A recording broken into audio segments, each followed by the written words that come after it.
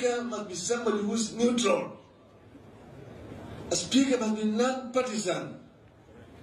You cannot be a speaker if you remain a member or leader of the, the Conservative Party or Labour Party.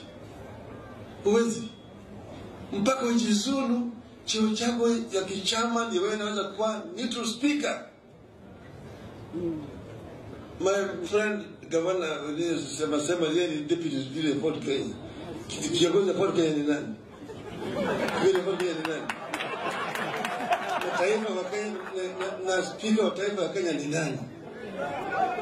Hiyo nataka hiyo swali. If you want to get to speaker, you must resign from being a leader of Fort Kenya. Then you can be a neutral speaker. Can be able to preside over the, over the deliberations of parliament in a neutral way.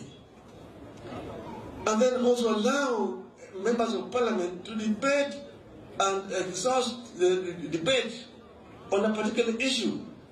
Wakati hii sheria zote ambazo zinakuja kutoka kwa ikulu zinapita, sheria zote zinatoka kwa ikulu zinapita. Kwa hivyo Wakenya wako katika hali ya hatari. Kajua Kenya iko katika mbaya zaidi. Mtu akisema mimi I'm un unstoppable, hakuna mtu anaweza kunistopisha. Ni nani? Ni nani walisema yeye alikuwa ni unstoppable, tulimstopisha, tulimstopisha Nyayo. Kama tuliweza kumstopisha Nyayo, wewe ni nani? Wakenya watakustopisha. Kenyans will stop you. Kenyans have a right to stop you. Kenya cannot be ruled in a manner that is not prescribed in our constitution.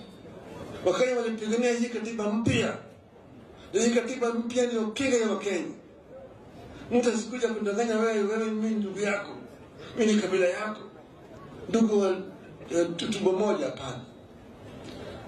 Kitu muhimu zaidi ambayo itatetea wewe ni katiba na wakianza kujaribu kubadilisha katiba hapa na pale hapa na pale, ndivyo ilifanyika pale ya uhuru, na utakaenda katika ile shimo kubwa zaidi, utataki kurudi huku tena.